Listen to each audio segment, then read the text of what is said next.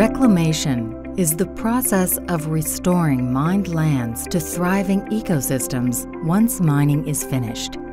It's one of the major components of the mine closure process, which is why we work hard to carefully plan and carry out reclamation, as well as focusing on continually improving our reclamation techniques. My name is Gary Luini. I'm an environment officer at Line Creek. My role at Line Creek as an environment officer is uh, reclamation planning and I work with the implementation of the reclamation program. Personally, the reclamation uh, objectives are important to me in this valley uh, because this is a, a, place that I want to live and, and a place that, uh, that I grew up in and it, I want this, uh, this operation to be sustainable a uh, long time. We start with reclamation planning shaped by conversations with communities and Indigenous peoples to understand their needs, as well as detailed studies of the environment and biodiversity at our mine sites. This planning guides our work throughout the life of the mine, including reclamation.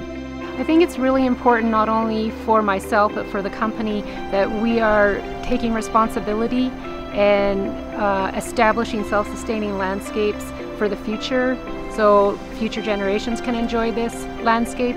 Mining is temporary, the landscape is permanent, and it's our responsibility to be the stewards of the land. Reclamation work can include activities such as resloping rock piles, restoring soil, replanting native species, and reclaiming water features such as tailings ponds. The ultimate goal is to conserve and enhance biodiversity maintain the environment, and return the land back to productive uses.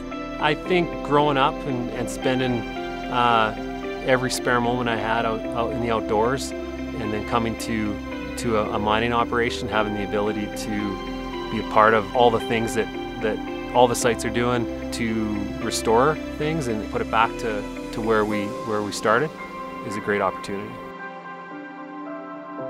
Learn more about how we are reclaiming mine sites at www.teck.com slash aftermining.